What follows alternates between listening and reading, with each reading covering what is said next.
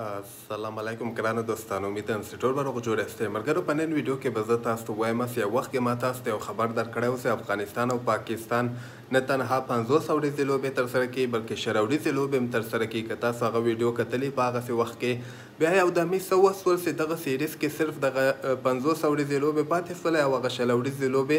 یعنې کینسل سولې د پاکستان له طرف نه نن دغسې خبر خپور شوی ده چې افغانستان سره خو مونږ شل اوریزې سیریز هم برابر کړی ؤ پنځوس اوریزې لوبې مونږ ورسره تنها نه کولې ځکه شل اوریزه ورلډ کپ هم نږدې ده نو د دوی لپاره به هم ګټور ثابت شوی ؤ او د مونږ لپاره هم او دغه کې مونږ افغانستان سره درې شل اوریزې لوبې هم ترسره کولې او پنځوس اوریزې لوبې خو د اف ټي پي پروګرام لوبې دي خو هغه د وجه کینسلیدلو وجه به زه تاسو ته په نن ویډیو کې وښیم چې ولې دغه لوبې شروړیزې لوبې کینسل شولې یو دمې کینسل شولې بیا کوم خبر هم را ونه وته نن یو خبر ما وکته د پاکستان رسانیو نه دغسې خپور شوی و چې د آی پی ایل په وجه باندې د منګ او د افغانستان شروړیزې لوبې نه ترسره کیږي ځکه شل اوریزه لوبه خو مونږ ځکه برابرو چې ورلډ کپ لپاره ښه پریکټیس وشي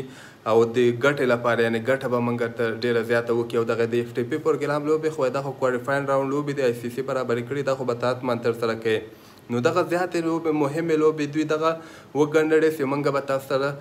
درې پنځوس اوریزې لوبې ترسره کوو او بیا افغانستان کرکټ بورډ وایي مونږ ته وویل چې زمونږ بعضې لوبغاړي په آی پي ایل کې اخیستل شوي دي چې بیا دغه موږ سره دومره وخت نشته دی یعنی تاسو سره زیات دی شل اوریزی لوبی نشو تر سره کولی بیا دی موږ لوبغاړی ځی آی پی ال ته لوبی تر سره کی نو تاسو خپله فکر وکړئ ځکه شل اوریزو لوبو کی کپټنسی به رشید رشید خان کپټنسی تر سره کی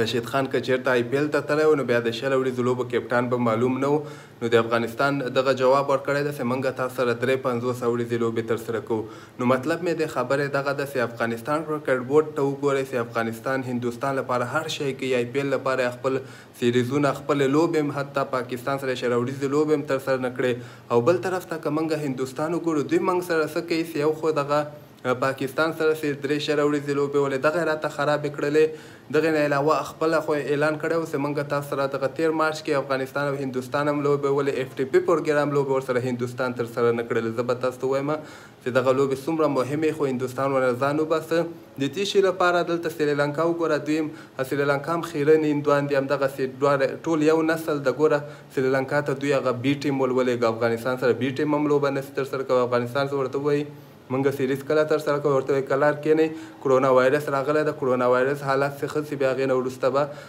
مونږ تاسو سره لوبې تر سره کوو اوس افغانستان کرکټ بورډ باید غیرت پیدا کړي او دغه رشید خان مجیب سلطان او محمد نبي دغه آی پي ایل ته ور پریږنیدي ځکه تاسو وګورئ مونږ ته خو یې دغه لوبې هسې نم خرابې کړلې دغې نه علاوه به زه تاسو ته ووایم هسې دغه اسټرالیا سره تیره ورځ مې تاسو ته ویډیو هم جوړه کړله اسټرالیا سره دې مونږ یو سیریز ترسره کیدونکی او ټرایینګولر سیریز و، درې اړخیزه سیریز و، ویسټ انډیز هم ورکې و، افغانستان هم ورکې و، په اکتوبر میاشت کې دغه سیریز ترسره کیدونکی و،